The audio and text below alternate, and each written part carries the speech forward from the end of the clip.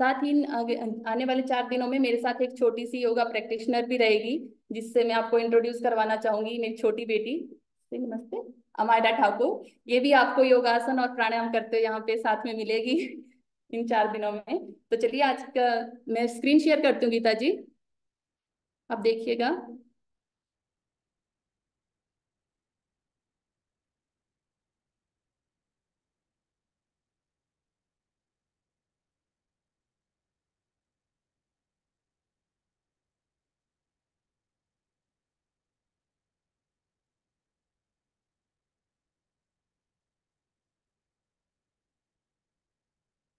गीता जी आ रहा screen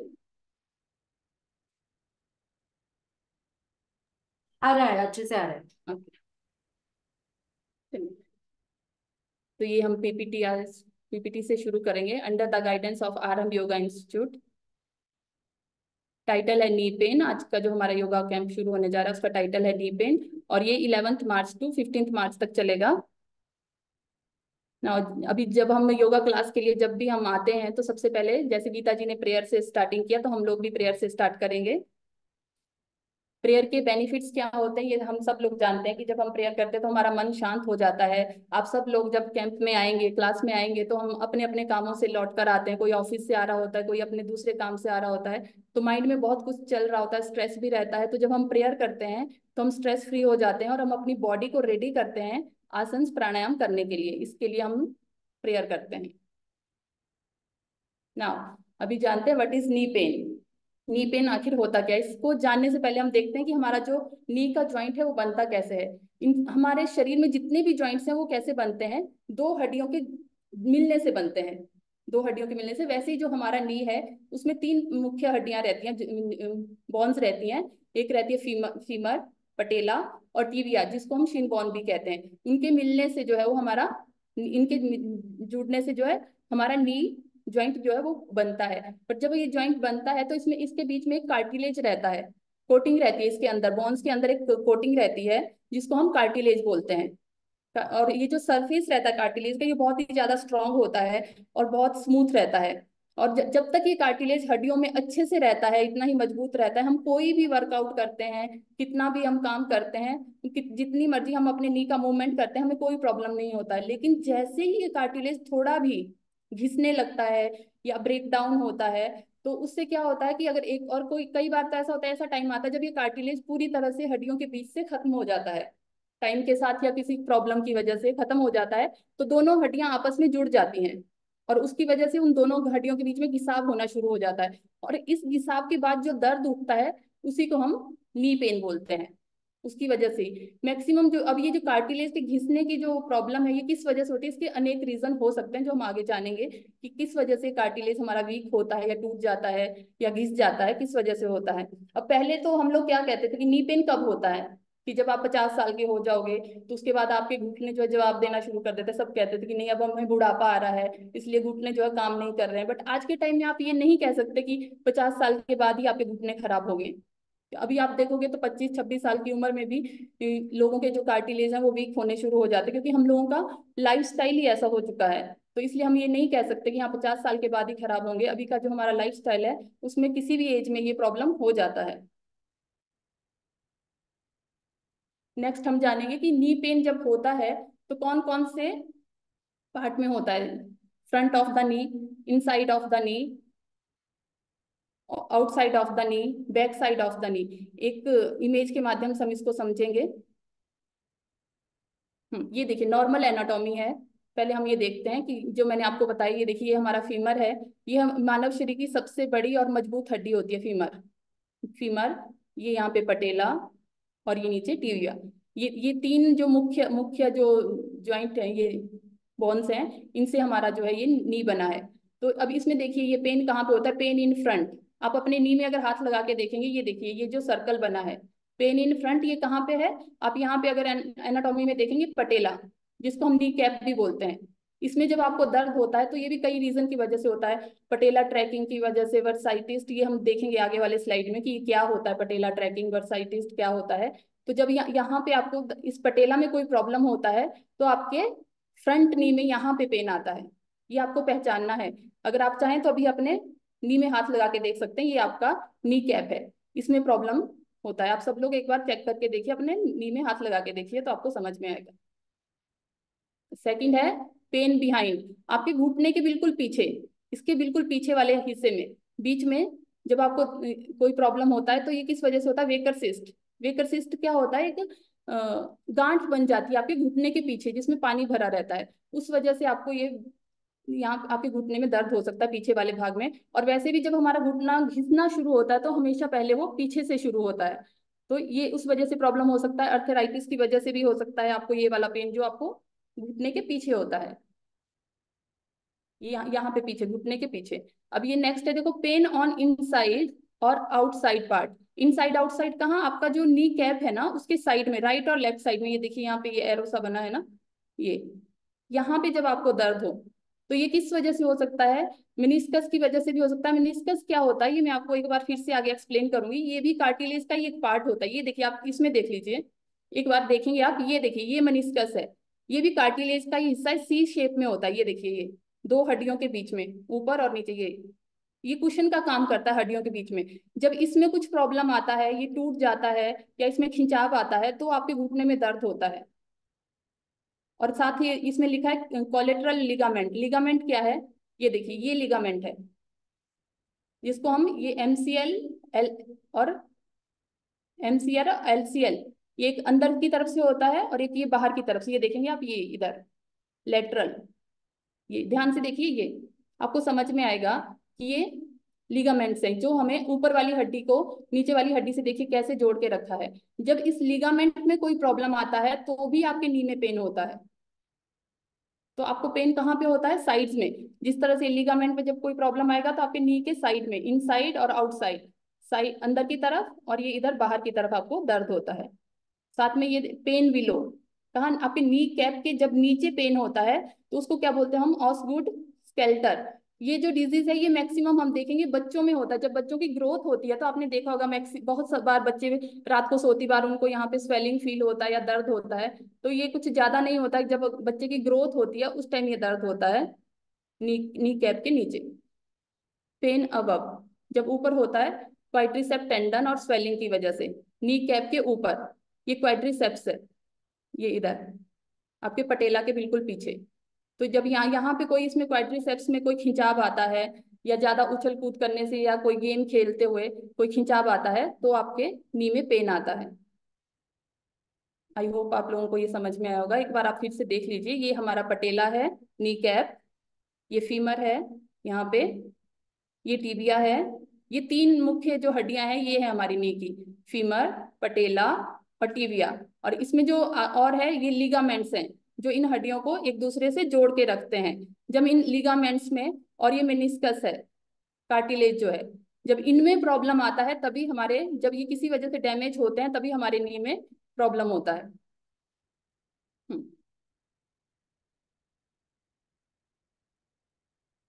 next hmm. देखेंगे cause किस वजह से नी में पेन आता है। Causes of knee pain bursitis bursitis क्या होता है? एक द्रव थैली होती है, जितने भी हमारे बॉडी में ज्वाइंट्स है ना, उन सब में ये थैली रहती है। क्योंकि ये जो घर्षण होता है ना, दो हड्डियों के बीच में, उससे हमें सेफ़ करता है, उस घर्षण से बचाता है। बॉन्स को एक दूसरे से घर्षण से बचाता है। और ये हमारे पूरे शरीर में कम से कम हंड्रेड से भी ज़्यादा होंगी। तो ये हमारे नी में भी रहती है। बर्साइटिस्ट ये थैली हमारे नी में भी रहती है। इसमें कई बार स्वेलिंग हो जाती है, जलन हो जाती है। वो किस वजह से होती है? कई बार जो है ये हमें जो है, वो बैक्टीरियल इन्फेक्शन भी हो जाता है उस वजह से भी हो सकता है। दूसरा रीजन रहता है नी पेन में डिसलोकेशन जो हमारा नी कैप है, वो डिसलोकेशन हो जाता है, वो अपनी जगह छोड़ देता है तो उस वजह से हमें नी पेन होता है। कोई भी हड्डी जब अपनी जगह छोड़ देती है, वो ट्रीटमेंट करवाने के बाद अपनी जगह ले लेती है बट कई बार क्या होता है, वो किसी किसी का क्या होता है, वो बार बार डिसलोकेशन होता रहता है। नेक्स्ट है गाउट गाउट क्या है, ये अर्थराइटिस का ही एक रूप है, और ये बहुत डेंजरस माना जाता है गाउट जो होता है। और बहुत पेनफुल भी होता है। इसको बहुत पहले तक तो ऐसा माना जाता था कि अमीरों की बीमारी होती है बट अभी अभी हम ये नहीं कह सकते कि अमीरों वाली बीमारी है, क्योंकि ये अधिकतर क्या होता है फास्ट फ़ूड के खाने से होती है। क्योंकि हमारी बॉडी में जो है यूरिक एसिड जो है, वैसे तो ऑटोमेटिकली हमारी जो किडनी है यूरिक एसिड को बाहर फेंकती है हमारी बॉडी से। बट क्या होता है, जब हम लोग बाहर का खाना यूरिक मतलब बहुत ज़्यादा केमिकल फूड्स और ये सब इनटेक करते हैं तो हमारी बॉडी बहुत ज़्यादा यूरिक एसिड बनाना शुरू कर देती है। और किडनी उसको पूरी तरह से बाहर नहीं निकाल पाती है। तो जो यूरिक एसिड है, वो थोड़े टाइम के बाद क्या होता है, उसके क्रिस्टल बनना शुरू हो जाते हैं। क्रिस्टल फॉर्म ले लेता है वो और हमारे ज्वाइंट में जो है शेप क्रिस्टल की तरह वो चुभना शुरू हो जाता है। और ये जो हमारा शुरू होता है, ये होता है हमारे पैर के ज्वाइंट से, पैर के अंगूठे के पास से। और इसकी वजह से भी हमें नी पेन होता है। ऑस्टियोआर्थराइटिस ये बहुत ही कॉमन कॉमन प्रॉब्लम है। जो देखी जाती है ऑस्टियोआर्थराइटिस छोटी उम्र में भी देखी जाती है। इसके बहुत सारे रीजन हो सकते हैं। ये वही है कि कार्टिलेज जब आपका घिसना शुरू हो, हो जाता है दो हड्डियों के बीच में तो आपको ये प्रॉब्लम होना शुरू हो जाता है। और ये होता किस वजह से है? उसमें आपके नी में सूजन भी आ जाता है। जैसे जो ओलंपिक्स में मतलब गेम्स में रहते हैं एथलीट्स रहते हैं हॉकी खेलते हैं वॉलीबॉल खेलते हैं, उस वजह से भी हो जाता है जो बहुत ज़्यादा स्ट्रेस देते हैं नी पे, उनको हो जाता है। तो ये किसी को भी हो सकता है और अपने खाने पीने का ध्यान नहीं रखते हैं। और सबसे जो बड़ा रीजन जो उसका माना जाता है वो होता है मोटापा। बॉडी वेट जैसे ही आपका गेन होता है तो उसमें सबसे ज़्यादा चांसेस रहते हैं ऑस्टियोआर्थराइटिस होने के। नेक्स्ट है baker cyst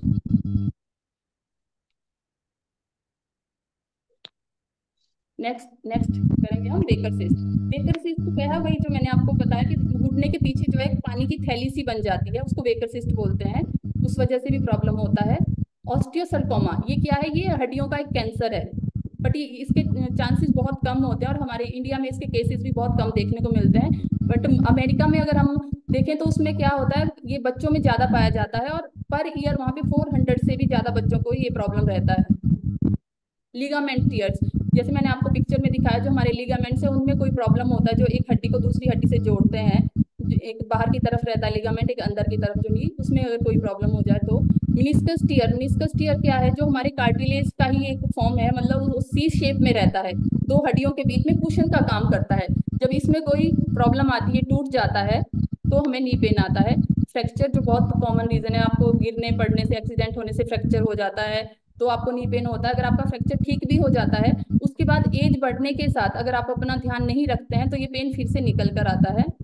access body weight ये आजकल के टाइम में ये सबसे बड़ा प्रॉब्लम है बॉडी वेट इसकी वजह से नी में सबसे ज़्यादा प्रॉब्लम होता है और ये बहुत कॉमन रीजन है बॉडी वेट और ये ऐसा नहीं है कि आपको पचास साल के बाद होगा या तीस साल के बाद। अभी ये पंद्रह साल के बच्चे को भी हो सकता है, बीस साल के बच्चे को भी। अगर आपका बॉडी वेट ज़्यादा है तो ये बहुत ही कॉमन प्रॉब्लम है।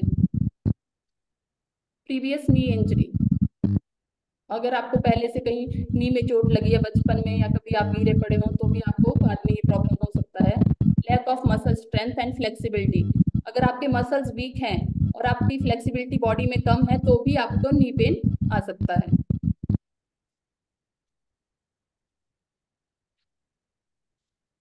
नेक्स्ट है सिम्टम्स ऑफ़ नी पेन अगर आप कैसे पता लगाएँगे कि आपको नी पेन है? वैसे तो सबको पता चल ही जाता है बट फिर भी हम डिस्कस करते हैं। स्वेलिंग आ जाता है आपके नी में। स्टिफनेस फील होता है।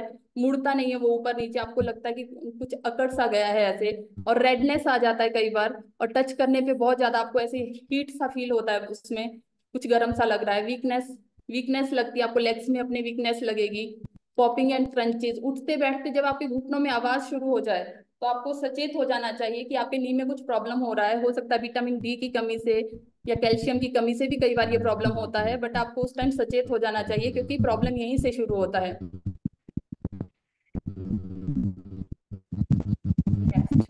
ट्रीटमेंट ऑफ़ नी पेन अब अगर आपको नी पेन हो गया है तो उसके लिए आप क्या ट्रीटमेंट लेंगे?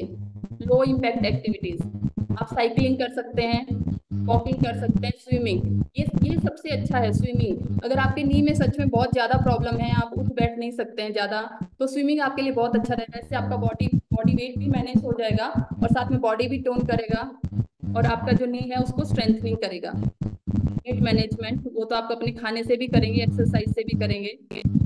हीट एंड कोल्ड थेरेपी अगर आपको नी में बहुत ज़्यादा पेन है तो आप गर्म पानी से उसको सेक सकते हैं नमक डाल के। कोल्ड थेर कोल्ड थेरेपी मतलब जो आई आइस पैड रहता है, उसको आप रख सकते हैं अगर आपके नी में स्वेलिंग है। स्मोकिंग एंड एल्कोहल ऑब्वियसली इससे तो बहुत सारी बीमारियाँ की शुरुआत होती है तो ये तो बंद करना पड़ता है। मैनेज स्ट्रेस स्ट्रेस एक बहुत बड़ा रीजन है किसी भी बीमारी का। हमारे शरीर में नाइन्टी परसेंट जो बीमारियाँ शुरू होती हैं, वो स्ट्रेस से ही शुरू होती हैं। टेन परसेंट ऐसी बीमारियाँ हैं जो हमें किसी एक्सीडेंट की वजह से, जलने की वजह से या कटने की वजह से होती हैं। अदरवाइज़ नाइन्टी परसेंट बीमारी जब हमारी शुरू होती है, जो बीज हमारी बीमारी का पड़ता है, वो यहीं से पड़ता है स्ट्रेस की वजह से। तो हमें अपने स्ट्रेस को मैनेज करना है।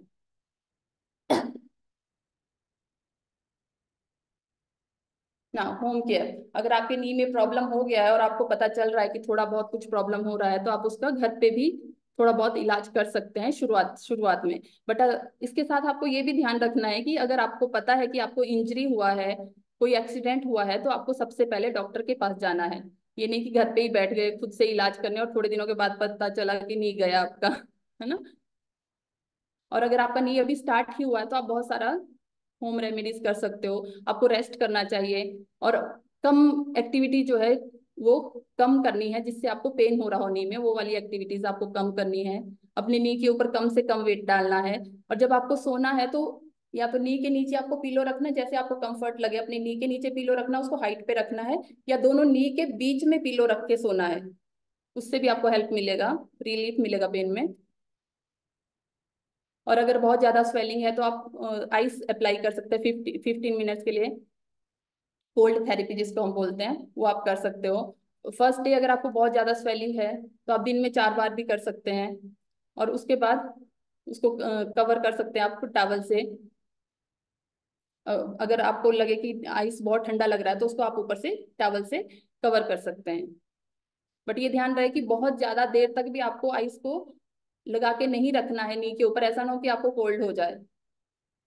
Keep your knee raised as much as possible to bring down any swelling जब तक आपका स्वेलिंग जो है वो डाउन नहीं होता है आपको अपने नी को थोड़ा हाइट पे ही रखना पीलो के ऊपर। आजकल मार्केट में बहुत सारे इला, इलास्टिक जो है बैंडेज भी मिलते हैं तो वो भी आप ले सकते हो उससे भी आपको बहुत ज़्यादा फ़र्क पड़ता है स्वेलिंग में और आपके नी को वो सपोर्ट प्रोवाइड करते हैं। हम्म अब बात करते हैं डाइट की जो एक बहुत अहम हिस्सा होता है डाइट डाइट जब हम डाइट की बात करते हैं डाइट मैनेजमेंट का जब हम बात करते हैं तो ये हमारे लाइफस्टाइल में आता है। तो हमें किसी भी बीमारी के लिए हमारे लिए बहुत ज़रूरी होता है कि हम अपने लाइफस्टाइल पर ध्यान दें। अब जब हम डाइट की बात करते हैं तो हम ये भी नहीं कह सकते कि अगर मैं आपको कोई एक डाइट प्लान दे दूँ तो जितने लोग यहाँ पे बैठे हैं, वो सबके लिए सूट होगा। क्योंकि सबका जो क्लाइमेट है, वो अलग है। सब लोग अलग अलग जगह से आते हैं। सबकी बॉडी अलग है। तो इसलिए कुछ ऐसी खास चीज़ें हैं जिन पे हमें ध्यान देना है। बाकी बॉडी टू बॉडी डिपेंड करता है कि आप कौन सी चीज़ आपको सूट करती है, आप उस हिसाब से भी ले सकते हैं। और जब हम डाइट की बात करते हैं तो हमारी जो हेल्थ है वो सेवेंटी फाइव परसेंट जो है वो हमारी डाइट पर ही निर्भर करती है कि हम कैसी डाइट लेते हैं, हम क्या खाते हैं। तो हमें कौन सा खाना लेना है? बॉन्स के लिए जो अच्छा रहता है ऑब्वियसली हमें कौन सा खाना चाहिए? जो calcium protein protein rich food चाहिए वॉलनट आलमंड्स एंटीऑक्सीडेंट जैसे मैंगो लेमन जो एंटी ऑक्सीडेंट जो फ़ूड रहते हैं, उनमें क्या होता है वो जो हमारे सेल्स डैमेज हो रहे होते हैं ना, उनको डैमेज होने से बचाता है। तो हमें एंटीऑक्सीडेंट फ़ूड लेने चाहिए और प्रॉपर एक्सरसाइज करना है वेजिटेबल्स लेना है प्रोटीन फूड्स लेने हैं। ये देखिए ऑलमंड्स ले सकते हैं वेरीज ले सकते हैं स्पिनच टर्मरिक सेलमन फ़िश बहुत अच्छा है। चार पाँच बातें ऐसी हैं ना जो हमारे ज्वाइंट के लिए ना चार पाँच फ़ूड ऐसे हैं जो बहुत ज़रूरी होते हैं। मैं बात करती हूँ उनके बारे में। फ़र्स्ट है anti inflammatory anti inflammatory food कौन से होते हैं? जो हमारे स्वेलिंग को कम करते हैं।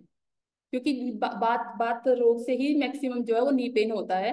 तो एंटी इन्फ्लामेटरी में कौन से आएँगे? अनार आएगा हल्दी अदरक ऑलिव ऑयल ये आप ले सकते हो। ग्रीन वेजिटेबल्स फ़िश और ग्रीन टी, आप बहुत ही अच्छा सोर्स है, ग्रीन टी। अगर आपके नी में स्वेलिंग है तो ग्रीन टी, पपाया ले सकते हैं आप पंपकिन सीड्स कैप्सिकम और सेकंड रहेगा कार्टिलेज रीजनरेशन कार्टिलेज का रीजनरेशन कैसे होगा? अगर आप चाहेंगे कि 50 इयर्स के बाद हो तो वो नहीं हो पाएगा। लेकिन हाँ एक एज पे मतलब 20 25 और 30 साल तक क्या रहता है कि अगर आप ये फ़ूड लेते हो विटामिन सी और मैग्नीशियम तो जो आपका कार्टिलेज है, उसको रीजनरेट कर सकता है। वो लेवल हम ये इसको जैसे grade one grade two grade grade three grade four में रखते हैं नी पेन को। तो ग्रेड वन और ग्रेड टू तक जब आप, आपका नी पेन है तो कहीं ना कहीं वो आपको हेल्प करता है कार्टिलेज को रीजनरेट करने में। तो उसमें कौन से फ़ूड आएँगे? नट्स आएँगे, आपका लेमन आएगा जिंजर आएगा ऑरेंज आएगा। तो ये फ़ूड लेना बहुत ज़रूरी है। और साथ ही थर्ड रहेगा कोलाजन प्रोटीन जो हमारी बॉन्स के लिए बहुत ही अच्छा रहता है। कोलाजन प्रोटीन जो हमारी हड्डियों और मांसपेशियों को जोड़ने में हेल्प करता है। तो जो कोलाजन जो प्रोटीन है वो कहाँ मिलेगा आपको? ये देखिए बेरीज है। बेरीज में मिलेगा गार्लिक रेड येलो वेजिटेबल्स में मिलेगा फ़िश में मिलेगा आपको सैलमन फ़िश में मिलेगा। तो ये आप इनटेक कर सकते हैं। और थर्ड रहेगा आपको बॉन मसल स्ट्रेंथ मसल्स के लिए स्ट्रेंथ चाहिए तो आप क्या ले सकते हैं? विटामिन डी आप धूप में भी बैठ सकते हैं, जो आजकल बहुत मुश्किल होता है बैठना। रीजन क्या रहता है? हमारे पास टाइम नहीं है। ऐसा नहीं है कि धूप नहीं खिलती है। धूप तो हमेशा की तरह आती है, बट हम लोग बैठ नहीं पाते हैं क्योंकि हमें लगता है हमारे पास टाइम नहीं है। लेकिन वो बहुत ज़रूरी है। मशरूम हम ले सकते हैं, स्पिनच ले सकते हैं। और वेट लॉस के लिए तो हम एक्सरसाइज करना है डाइट को थोड़ा कंट्रोल करना है। और अवॉइड करना है एसिड एसिडिक जो फ़ूड होता है उसको। और एक जो स्पेशल है ओमेगा थ्री ओमेगा थ्री हमारी बॉन्स के लिए बहुत अच्छा है। ओमेगा थ्री फैटी एसिड जो हमारी जो स्वेलिंग रहती है बॉन्स में, उसको कम करता है। वो आपको सैलमन फ़िश में फ़िश में मिलेगा फ्लैक्स सीड्स में मिलेगा, अखरोट में मिलेगा। नी पेन के लिए स्पेशली कहते हैं कि अगर आप दिन के सुबह उठ के अगर दो अखरोट भी खाते हो ना तो आपके लिए बहुत अच्छे से काम करता है नी पेन के लिए। और आपको कौन से फ़ूड लेने जो लुब्रिकेशन को बढ़ाते हैं। जो थिकनेस होती है ना नी उसमें ज्वाइंट्स में, उसको बढ़ाते हैं। वो वाले आपको फ़ूड लेने हैं। यूरोलोनिक एसिड फ़ूड लेना है आपको। वो किसमें मिलेगा आपको? नट्स में मिल जाएगा ऑलमंड्स में मिल जाएगा वॉलनट में मिलेगा ब्रोकली में मिलेगा पंपकिन सीड्स में मिलेगा। तो ये सब आप इनटेक कर सकते हो। और अब साथ में आपको क्या नहीं खाना है? इसका भी ध्यान रखना कि आपको क्या नहीं खाना है। अब यहाँ पे सबसे पहले आप देखेंगे कि इसमें लिखा है एग और डेयरी प्रोडक्ट्स अब सबको लगता है कि एग और डेयरी प्रोडक्ट खाना तो बहुत ज़रूरी है बट जब आपको बॉन्स का प्रॉब्लम रहता है तो उसके कई रीजन होते हैं। हो सकता है आपको किसी अर्थराइटिस के भी कई प्रकार हैं, वो है तो किसी को तो ये सूट करता है, किसी को नहीं, क्योंकि जितना भी हम एनिमल प्रोटीन लेते हैं, उसमें इन्फ्लामेशन ज़्यादा होता है। जैसे मैंने आपको बोला, हमें जो है एंटी इन्फ्लामेटरी फ़ूड लेना है, जो इन्फ्लामेशन को बढ़ाता है उसको नहीं। बहुत ज़्यादा रिच प्रोटीन जिसमें है एनिमल प्रोटीन वो हमें इनटेक नहीं करना है। अगर हमें लेना भी है तो हमें low fat dairy product intake करना है। हाई प्रोटीन वाला नहीं लेना है। और कई बार बहुत बार ये देखा भी जाता है कि कुछ लोग जो डेयरी प्रोडक्ट जब यूज़ करते हैं दूध दही तो उनके जॉइंट्स में ज़्यादा पेन होता है। तो हम उस, उसको देख के भी हम लोग इनटेक कर सकते हैं। अगर आपको कोई दिक्कत नहीं होती है तो आप लो फैट यूज़ कर सकते हैं। प्रोसेस्ड मीट रेड मीट में बहुत ज़्यादा इन्फ्लामेशन रहता है। वो नहीं लेना चाहिए। शुगर शुगर शुगर में तो कुछ भी नहीं होता। शुगर में तो जस्ट क्या रहता है? शुगर में तो कुछ भी नहीं होता शुगर सिर्फ़ कैलोरी होती है उसके अलावा उसमें कुछ भी नहीं होता है। बट हमें क्या लगता है शुगर सिर्फ़ चीनी के डिब्बे में ही होती है। बट ऐसा नहीं है शुगर हर एक चीज़ में जो भी आप पैक्ड फ़ूड बाहर से लेते हैं वहाँ से सब शुगर इनटेक हम लोग कर, करते हैं तो हमें वो भी बंद करना पड़ता है बर्गर पिज्जा चिप्स साथ में। रिफाइंड ग्रेन जितना भी रिफाइंड ग्रेन्स है वो भी इन्फ्लामेटरी को बढ़ाता है तो वो भी हमें इनटेक नहीं करना है। फ्रिज का खाना जो आज का सबसे बड़ा प्रॉब्लम है। फ्रिज में जितना भी खाना हम रखते हैं वो सारा इन्फ्लामेशन को बढ़ाता है। तो उसको हमें अवॉइड करना है। और मजबूरी की वजह से अगर आपको खाना पड़ रहा है तो एकदम से निकाल के आपको नहीं खाना है। एक घंटा उसको पहले निकाल के रखना है उसके बाद आप इनटेक कीजिए।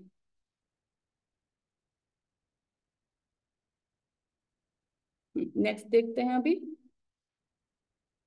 हम्म सा, साथ में आपको क्या नहीं करना है? एडिट सॉल्ट भी नहीं लेना जैसे भुजिया एडिड शुगर जैसे मैंने आपको बताया पैक्ड फ़ूड नहीं लेना है।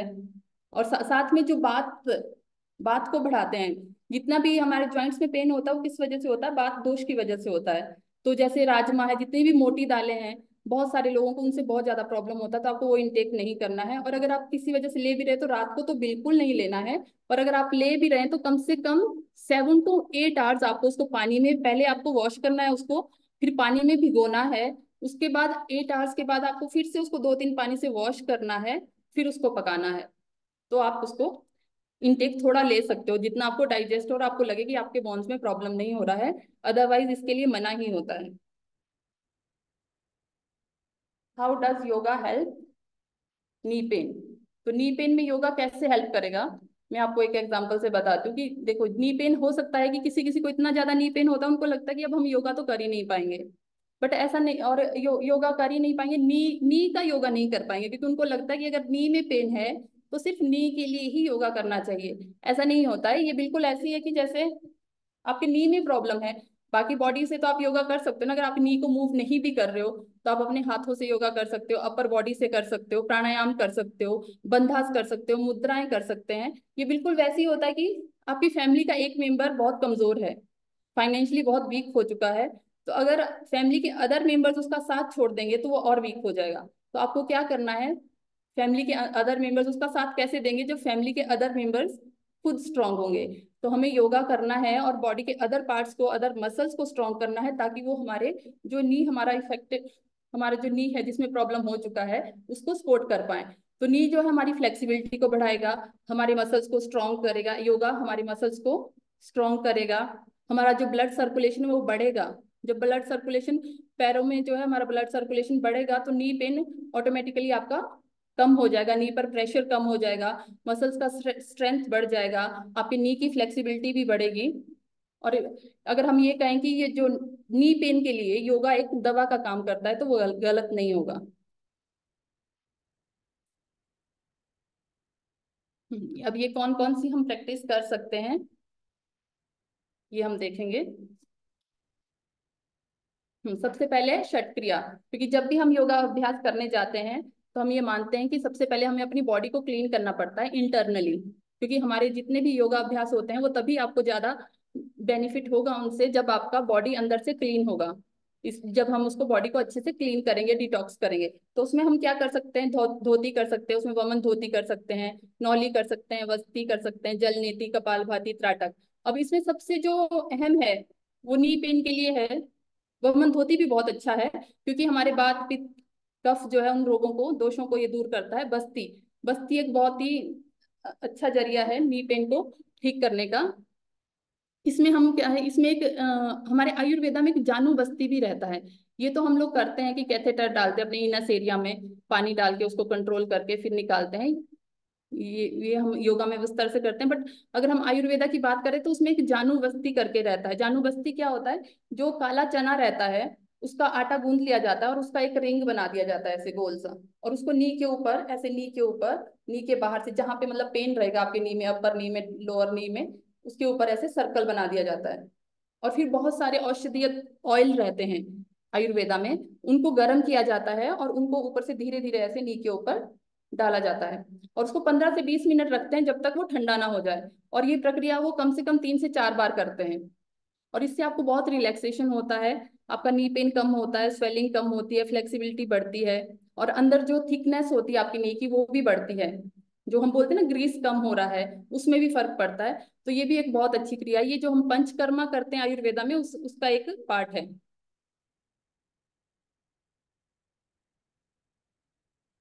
हम्म।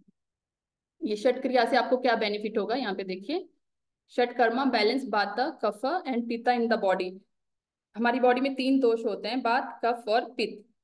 जब ये बैलेंस रहते हैं तो हम हेल्दी होते हैं बट जब ये अनबैलेंस हो जाते हैं तो हमें कोई ना कोई रोग ज़रूर पकड़ लेता है। तो जैसे हम षटकर्म करते हैं, उससे ये दोष जो है वो खत्म हो जाते हैं बैलेंस हो जाते हैं।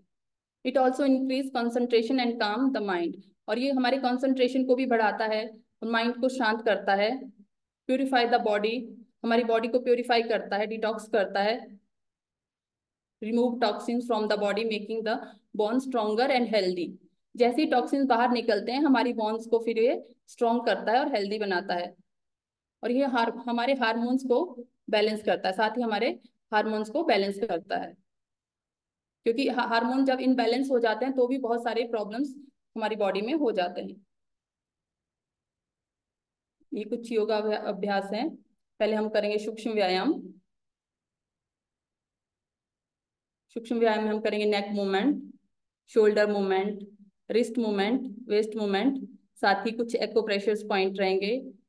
टो बेंडिंग और ये सब रहेगा हाफ़ बटरफ्लाई नी रोटेशन अब सूक्ष्म व्यायाम के बेनिफिट क्या होते हैं? ये हमारी फ्लेक्सिबिलिटी को बढ़ाते हैं। और ये बहुत ही ज़्यादा सिंपल प्रैक्टिसेस रहती हैं, जो लोग कहते हैं ना कि हमारे नी में पेन है, हम खड़े नहीं हो सकते, हमसे बैठा नहीं जाता है। तो ये जो सूक्ष्म व्यायाम है, ये कोई भी कर सकता है। आप बेड बेड के ऊपर बैठे बैठे भी कर सकते हैं चेयर पे बैठ के भी कर सकते हैं। अगर आप फ्लोर पे बैठ सकते हैं थोड़ा भी तो आप फ्लोर पे बैठ के भी कर सकते हैं। ये आपके ब्लड सर्कुलेशन को बढ़ाएँगे और आपकी बॉडी को वार्म अप करेंगे नेक्स्ट आसनास करने के लिए।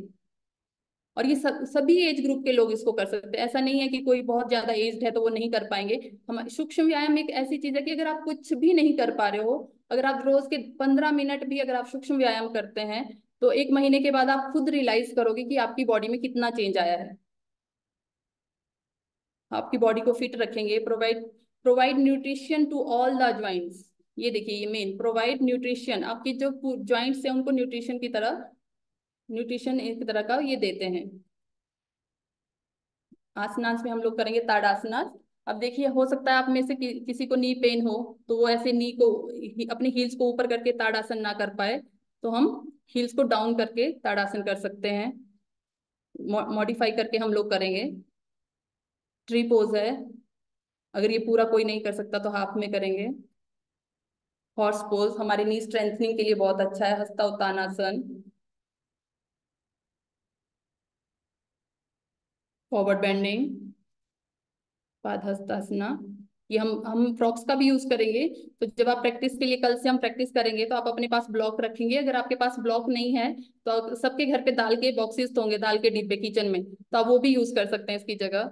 चेयर का यूज़ हम कर सकते हैं, जो लोग ज़्यादा झुक नहीं पाते, जिनका नी बैंड नहीं होता है। स्क्वाट हम करेंगे। जो नहीं कर पा, पाते वो हम उनको वॉल के साथ भी कराएँगे। अगर इतना नी बेंड नहीं कर सकते हैं तो नी को कम बेंड करके भी हम स्क्वाट कर सकते हैं। ये सब हम सीखेंगे। ये स्पेशली नी पेन वालों के लिए है तो हम लोग कोशिश करेंगे कि हम इस तरह से आसनास करें कि अगर आपको नी पेन है तो आप किस तरह के आसन कर सकते हैं? कहीं आपके माइंड में भी ये सब तो नहीं चलता कि नी पेन है तो अब मैं अपना वेट लॉस नहीं कर सकते हम लोग या हम लोग अब एक्सरसाइज नहीं कर सकते। त्रिकोणासन। हम वॉल के साथ कर सकते हैं, अगर इस तरह से ना कर पाए तो। ये वॉल के साथ कर सकते हैं। वीरभद्रासन वरियर पोज माउंटेन अर्धमुख स्वानासना दंडासना। दंडासन नी नी पेन के लिए बहुत अच्छा है। बटरफ्लाई नी की स्ट्रेंथनिंग के लिए। हो सकता है बहुत से लोग बटरफ्लाई में ना बैठ पाए तो हम पिलो रख के भी बैठ सकते हैं। ट्विस्टिंग, वक्रासना, मलासना। आप ब्लॉक के साथ कर सकते हैं, अगर आप ऐसे नहीं बैठ सकते तो आप ब्लॉक के साथ कर सकते हैं। वज्रासना, जो हमारे नी को बहुत ज़्यादा स्ट्रेंथनिंग करता है बट बहुत सारे लोग ऐसे होंगे जो वज्रासन में नहीं बैठ सकते, वो इस तरह से पिलो के ऊपर बैठ सकते हैं। तो ये सब प्रॉप्स हम कल से अपने पास रखेंगे पिलोज ब्लॉक चेयर कैट का oppose child pose.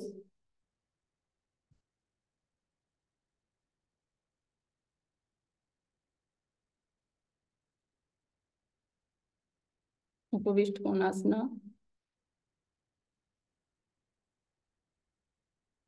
सेतुबंधासना bridge pose knee की स्ट्रेंथ ये ये सबसे अच्छा पार्ट है नी पेन जिनको रहता है, इसमें बहुत रिलैक्स होता है।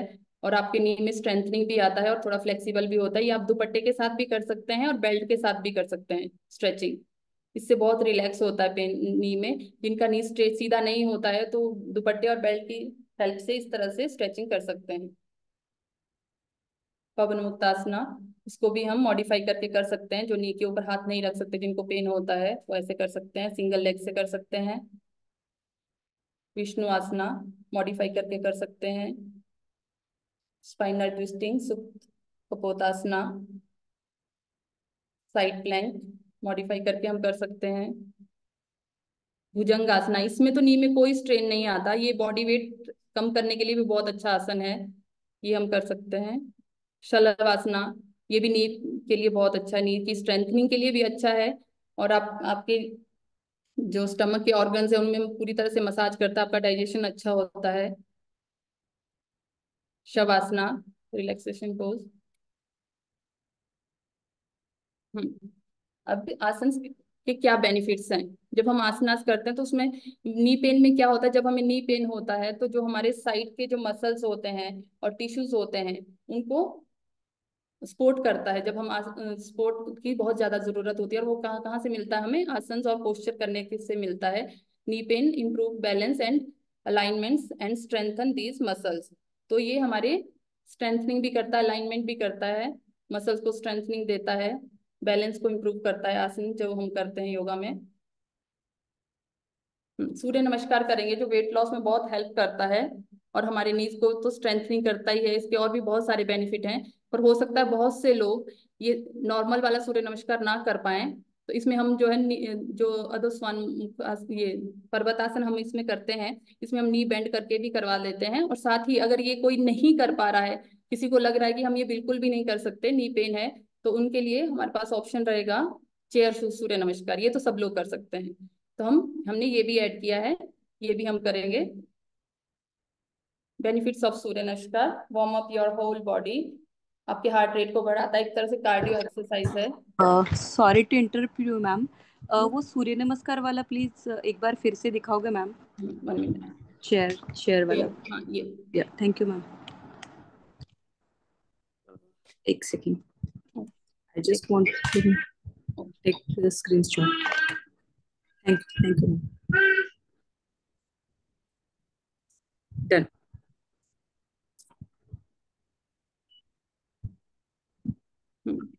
आपके मसल्स को टोन करे, करेगा, आपकी फ्लेक्सिबिलिटी को बढ़ाएगा ह्यूमन सिस्टम को बूस्ट करेगा, और आपको और प्रैक्टिसेस करने के लिए भी मोटिवेट करेगा, क्योंकि जब आप सूर्य नमस्कार करते हो ना तो उसका एनर्जी लेवल जो है ना, वो अलग ही होता है। वो जब आप करोगे तो आपको महसूस होगा। आप में से बहुत से लोग करते भी होंगे। Reduce stress and anxiety stress जो है, वो आजकल सभी बीमारियों की जड़ जो है, वो स्ट्रेस ही है तो उसको भी रिड्यूस करता है। नेक्स्ट है प्राणायाम। प्राणायाम करेंगे हम, अनुलोम विलोम, उज्जयी। अब प्राणायाम में तो किसी को कोई प्रॉब्लम नहीं आप कोई भी प्राणायाम करो, वो आपको बेनिफिट ही देगा। भ्रामरी। सेक्शनल ब्रीदिंग हम लोग करेंगे। अब इसके बेनिफिट क्या है? इंप्रूव स्लीप क्वालिटी अभी जो हमारा लाइफ स्टाइल है ना, उसमें बहुत ज़्यादा हम सबको पता की प्रॉब्लम है, हम टाइम से सोते नहीं है। और अभी तो आदत ऐसी होगी कि अगर आप सोने भी जाओ तो आपको नींद नहीं शायद आती, आपका मोबाइल शायद आपको सोने ना दे। आप रील स्क्रोल कर रहे होते हैं रात में और उसके बाद जब आप सोने जाते हो तो आपको पता चलता है आपको नींद नहीं आ रही। बट जब आप प्राणायाम का अभ्यास करोगे तो नेचुरली आपको नींद बहुत अच्छी आएगी, फिर आप अपना मोबाइल भी उठा के नहीं देखोगे।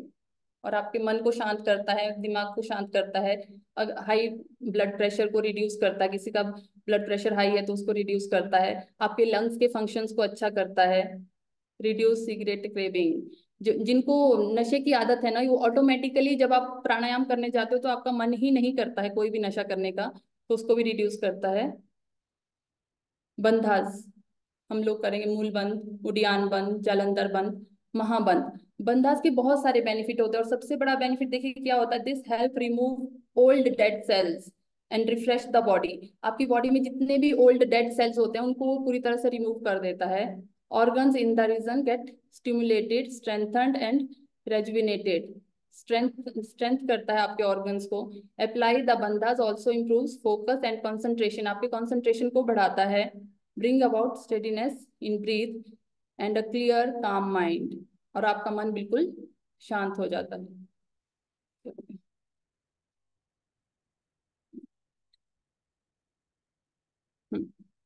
हस्त मुद्रा। हस्त मुद्रा का बहुत बड़ा रोल रहता है हमारे जो हेल्थ में है। अगर हम हस्त मुद्राएँ अप्लाई करते हैं these hand position are believe to stimulate specific areas of the brain and influence the energy of the body आपकी बॉडी में ऊर्जा का जो संचार है, उसको बढ़ा देता है मुद्रा। स्पेशली देखिए, जब हम नी पेन की बात करते हैं तो उसके लिए वायु मुद्रा बहुत अच्छी है, क्योंकि जो हमारे बात रोग की बात दोष की वजह से ये हमें प्रॉब्लम होती है ज़्यादा, जितना भी ज्वाइंट्स में प्रॉब्लम होता है। पारस मुद्रा बहुत अच्छी है। अपान मुद्रा, अपान वायु मुद्रा, संधि मुद्रा बहुत अच्छी है, शून्य मुद्रा। जब हम अपने फिंगर टिप्स को और टच करते हैं तो हमारे बॉडी के बहुत सारे पार्ट्स जो हैं, हमारे फिंगर टिप्स से जुड़े होते हैं। तो जैसे हम इनको प्रेस करते हैं तो हमारे बहुत सारे बॉडी पार्ट्स में ये मसाज करता है और हमारे ब्लड सर्कुलेशन को अच्छा करता है, हमें इमोशनली भी स्ट्रॉन्ग करता है। हमारे कंसंट्रेशन को बढ़ाता है और सबसे बड़ी बात की जब आप मेडिटेशन करने बैठते हैं तो उसमें मुद्राएँ बहुत ज़्यादा आपको हेल्प करती हैं।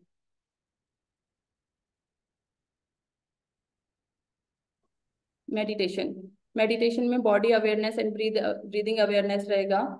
योग निद्रा हम करेंगे प्रणव जप विपासना मेडिटेशन प्रेक्षा ध्यान। अब जब हम ध्यान करते हैं तो उसके बेनिफिट क्या है? वैसे सभी को पता होगा फिर भी हम एक बार रीड कर लेते हैं। Giving you a new way to look at things that cause stress हमारी लाइफ में बहुत सारे ऐसे चीज़ें चल रही होती हैं जिसकी वजह से हम लोग स्ट्रेस फील करते हैं। तो हमें एक नया नज़रिया देता है। जब हम मेडिटेशन करते हैं तो हम उस स्ट्रेस को मैनेज करना सीख जाते हैं।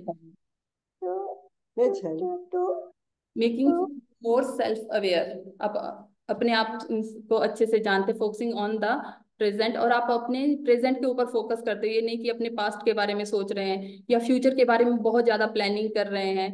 रिड्यूस नेगेटिविटी फीलिंग, जो नेगेटिविटी थॉट जो हमारे अंदर रहते हैं, वो हमारे मेडिटेशन से दूर हो जाते हैं, और हम ज़्यादा क्रिएटिव हो जाते हैं। हमारे अंदर ज़्यादा पेशेंस आ जाता है जब हम मेडिटेशन करते हैं। और आखिर में प्रेयर जो हम लास्ट में करते हैं। क्लास के एंड में प्रेयर करेंगे। सर्वे भवंतु सुखिना, सर्वे संतु निरामया, सर्वे भद्राणी पश्यंतु माँ कश्चित दुख भाग भवेद सभी सुखी हों, सभी रोग मुक्त हों, सभी मंगलमय के साक्षी बने और किसी को भी दुख का भागी ना बनना पड़े। ये सब प्रेयर जैसे हम शुरुआत में प्रेयर करते हैं, वैसे ही हम अपनी क्लास के एंड में भी प्रेयर करते हैं। सीमा जी एक बार सभी को फॉर्म फिल करने के लिए बोल दीजिए। Thank you feedback form chat box में शेयर किया हुआ है। प्लीज़ उसे फिल कर दीजिए। It will help us to improve हाँ मैं पहले शेयरिंग स्टॉप कर देती हूँ।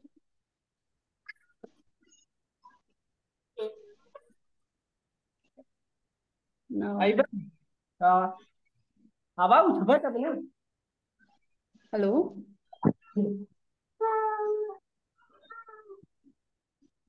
कोई बोल रहे हैं?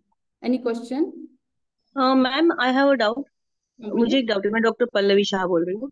अच्छा मुझे ऐसा डाउट है मैम जब भी हम लोग नी पेन में सपोज़ सूर्य नमस्कार करते हैं हम्म, हम्म, तो। उसमें जो फोर्थ वाला पोजीशन है जिसमें हम लोग एक नी बेंड करके ऐसे ये करते हैं तो वो खाली न करे तो चलेगा क्या? उस... उसके उसके लिए नी बैंड आप अश्व संचालन बोल रहे हैं ना? हाँ। अश्व संचालन में। उसमें आपको ना नोटिफिकेशन करके हम लोग देंगे कि आप चेयर के साथ कर सकते हो। डिपेंड करता है कि स्टूडेंट अगर आप आप कर आप कर रहे हो या स्टूडेंट को कितना पेन है। अगर बहुत ज़्यादा पेन है तो फिर हम लोग वो वाला सूर्य नमस्कार करवाते ही नहीं है। अगर बहुत मतलब स्टार्टिंग है पेन का तो उसमें हम मॉडिफिकेशन करके करवा देते हैं बहुत ज़्यादा खिंचाव नहीं दिया पीछे वाली लेग में गैप कम कर दिया लेग्स में उस तरह से। अच्छा ओके वो डिपेंड करता है स्टूडेंट पे और उनकी पेन कितना है किस लेवल का है और किस वजह से है वो हमें जानना बहुत ज़रूरी होता है। क्योंकि कई बार क्या होता है ना सिर्फ़ आपके बॉडी वेट की वजह से होता है और जैसे जैसे आपका बॉडी वेट कम होना शुरू होता है आपका नी पेन ऑटोमेटिकली चला जाता है। अच्छा बराबर। क्योंकि इसके लिए मैं पूछ रही थी एक्चुअली मुझे थोड़ा सा आर्थराइटिस का शुरुआत है like now I am fifty but वो मेरे मतलब पापा वगैरह से सबको है घर पे तो जेनेटिक्स भी है थोड़ा सा और आर्थराइटिस की शुरुआत है। तो मैं मुझे ऐसी पेन वैसे कम है लेकिन इफ़ आई जॉब ऐसे थोड़ा सा स्लो पे चलूँगी तो थोड़ा सा I can feel the pain इसके लिए मुझे पूछना था कि फोर्थ वाला जो अश्व संचालन जो है वो ना करके फिर हम लोग दूसरा डायरेक्टली पाँच वाला नहीं तो उस जगह पे हम लोग प्लैंक का पोजीशन करें ऐसा कुछ चलता है क्या? हाँ वो भी आप कर सकते हैं पर पल्लवी जी मैं आपको एक बात बताऊँगी कि पहले आप ना आप कितने टाइम से योगा प्रैक्टिस कर रहे हो? योगा तो मैं काफ़ी टाइम से कर रही हूँ लाइक छह सात साल से कर रही हूँ। लेकिन बीच बीच में मैं बहुत रन रनिंग भी करती थी जॉगिंग तो वो थोड़ा सा भी ये हाँ, ये ये एक्चुअल में क्या होता है ना जब नी पेन रहता है और अगर डॉक्टर ने बोल दिया कि आपको कुछ एक्सरसाइज करना है आपको वेट लॉस करना है तो बहुत से लोग ना भागना शुरू कर देते हैं। तो उस तरह से भी नहीं भागना है कि मतलब जो पेन है उसको आपको बढ़ाना है आपको धीरे धीरे शुरू करना है। अगर तो आप प्रैक्टिशनर हैं तो आप जो सूर्य नमस्कार है उसको आप ज़्यादा मत कीजिए आप टू या थ्री राउंड कीजिए मॉडिफिकेशन के साथ। वो बहुत ज़्यादा करना ज़रूरी है क्योंकि अदर आसनास हमारे पास बहुत हैं जो आपकी बॉडी को फिट रखेंगे। तो आपको ऐसा कोई भी आसन नहीं करना है जो आपकी प्रॉब्लम को बढ़ाए। आपको आसन इस तरह से करने हैं कि आपका प्रॉब्लम कम होना की बढ़े। तो ये नहीं कि सूर्य नमस्कार अच्छा लगता है सब करते हैं वो बहुत क्रिएटिव सा भी लगता है मतलब वो बहुत अच्छा है वो सभी को पता है कि जो लोग करते हैं उनको इंटरेस्ट आता है करने में बट वो इस वजह से नहीं करना है। आपको ये देखना है कि अगर आपका पेन रिड्यूस हो रहा है तो आपको करना हाँ। है। अगर आपको लग रहा है कि उसको करने से आपको पेन बढ़ रहा है तो उसमें मॉडिफिकेशन करके आप चेयर वाला सूर्य नमस्कार कर सकते हैं या उसमें मॉडिफिकेशन करके आप अपने सूर्य नमस्कार के राउंड कम कर सकते हैं। ओके यस मैम या thank you ma'am Any other? Any doubt?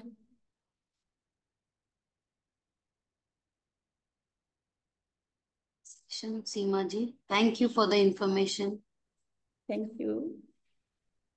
Any question? किसी और का कोई डाउट हो तो पूछ सकते हैं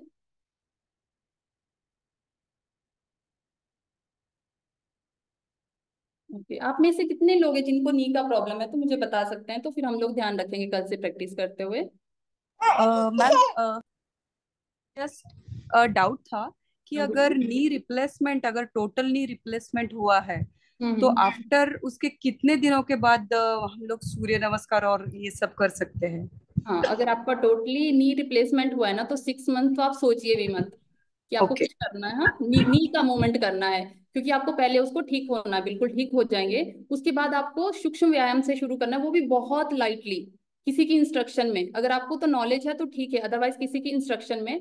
और उन सिक्स मंथ के बीच में आप प्राणायाम कर सकते हैं बंदाज कर सकते हैं। षट क्रियाएँ कर सकते हैं, वो सब आप कर सकते हैं। एक्चुअल में सबको क्या लगता है ना कि सिर्फ़ उल्टे सीधे लटक लो तो वही योगासन होता है, ऐसा नहीं होता है। मतलब आप ना सिंपल आसनास करके भी अपना वेट लॉस भी कर सकते हो, आप अपनी बॉडी को फिट भी कर सकते हो। वो ज़रूरी नहीं है कि आप बहुत कॉम्प्लिकेटेड कोई आसनास कर रहे हो, कि बहुत तेज तेज आप सूर्य नमस्कार कर रहे हो, तभी आपको बेनिफिट होता है, ऐसा कुछ नहीं है। तो आप बिल्कुल स्लोली स्लोली सिक्स मंथ के बाद अगर थोड़ा थोड़ा मूवमेंट करना, जैसे हम कल करेंगे ना, कल का जो सेशन रहेगा, उसमें हम बिल्कुल स्लो करेंगे। कि जिसको नी पेन है बहुत ज़्यादा तो आपको कैसे केयरफुली करना है प्रॉप्स के साथ? तो कल का दिन जो है मैंने वही सोचा कि हम सिर्फ़ वही करेंगे कि किसी को नी पेन है उसी तरह के आसन करेंगे। उसके बाद फिर हम स्ट्रेंथनिंग के करेंगे कि आपको नी पेन इन फ्यूचर ना हो। जो हेल्दी लोग हैं ऑलरेडी आपको नी पेन ना हो तो हमें कौन से आसन करने चाहिए? तो आप कंटिन्यू ज्वाइन कीजिए आपको डेफिनेटली फ़ायदा होगा। Hello ma'am hello hello? हाँ जी बोलिए। वैशाली हाँ जी। मैम अ, मुझे ये पूछना था अगर स्वेलिंग है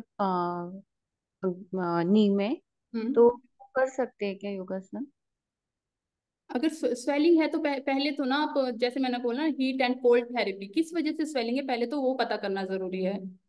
स्वेलिंग किस अच्छा। वजह से है? डॉक्टर को नहीं दिखाया मेरे आपने? को नहीं मैम मेरी मम्मी को है अच्छा। तो हाँ। स्वेलिंग वो बहुत वजह से हो सकती है ना? किस वजह से है स्वेलिंग? वो आपको पहले वो तो वो पता करना पड़ेगा। अच्छा कि स्वेलिंग किस वजह से है। उसके बाद अच्छा। धीरे अच्छा धीरे जैसे ही आपका अगर तो बहुत ज़्यादा पेन है ना तो उस टाइम कोई एक्सरसाइज नहीं करना है स्पेशली नी का मूवमेंट अदर अपर बॉडी से आप कर सकते हो एंकल मूवमेंट अगर आप कर पाओ तो वो आप कर सकते हो। हम्म, नहीं तो प्राणायाम है बंधास है वो सब आप कर सकते हो। Okay okay. थैंक यू जो जो स्वेलिंग होता है ना वो कई वजह से हो सकता है ना हो, हो सकता है उनको वर्सिस्ट हो या कुछ और प्रॉब्लम हो तो वो तो डॉक्टर से ही हाँ। पता चलेगा टेस्ट करवा के ही। ओके मैम इसलिए इसको लाइटली नहीं लेना है। जब भी नी पेन हो तो एक बार डॉक्टर से कंसर्न करना है उसके बाद ही वर्कआउट कोई भी शुरू करना है। ठीक है ना मैम थैंक यू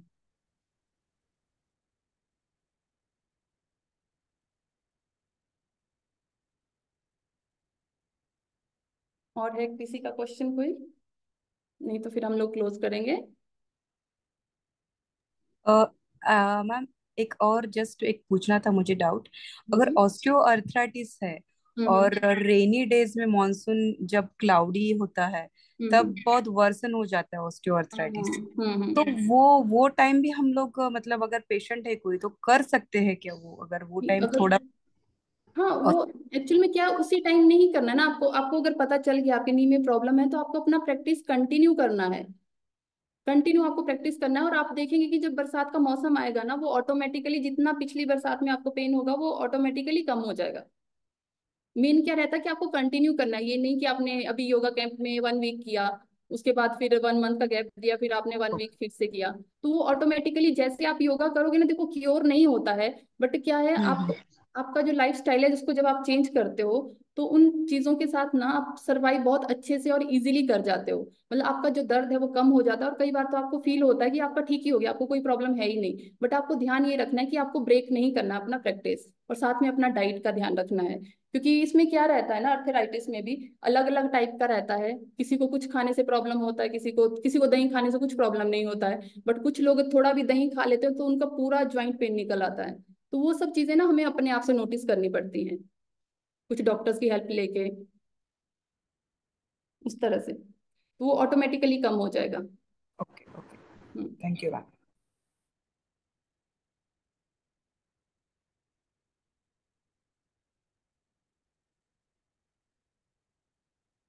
तो अभी क्लोज करें या किसी और का कोई क्वेश्चन है? नहीं तो हम लोग प्रेयर करेंगे। फिर कल से प्रैक्टिस शुरू करेंगे। आई होप आप सब लोग इसी तरह से जुड़े रहेंगे। सब लोग फीडबैक फॉर्म भर दीजिएगा। आपका फीडबैक हमारे लिए बहुत मायने रखता है।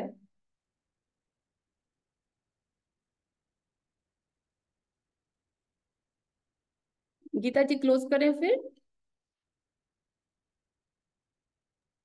यस यस प्रेयर के साथ में क्लोज कर सकते हैं। हाँ, चलिए चलिए सेटल डाउन किसी भी एक आसन में बैठेंगे सुखासन पदमासन या चेयर के ऊपर जैसे भी आप बैठ सकते हैं shoulder roll back eyes close normal breathing two three normal breathing breathe in breathe out breathe in breathe out breathe in breathe out three times Omkar chant करेंगे breathe in Um,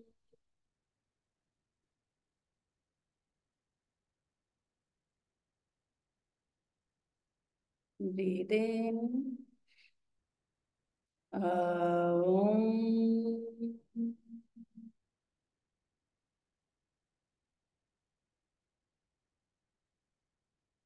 breathe in. Um,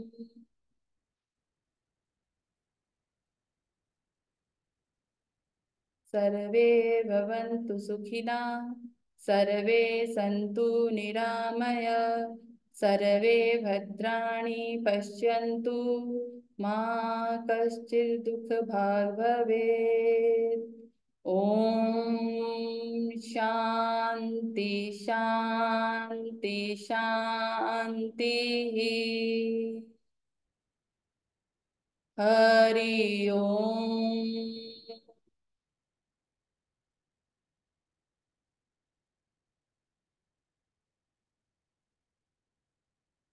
Rub your palms, make it warm. Cup your eyes, head down. Massage your face, chest, arms, legs, and gently open your eyes with smile. Thank you. Thank you so much. I hope कि कल भी आप सब लोग इसी तरह से join करेंगे और प्लीज़ फीडबैक फॉर्म भर दीजिए सब लोग। Thank you ma'am thank you thank you Geeta ji thank you Gandhara ji thank you all of you very nice session Seema ji very nice thank you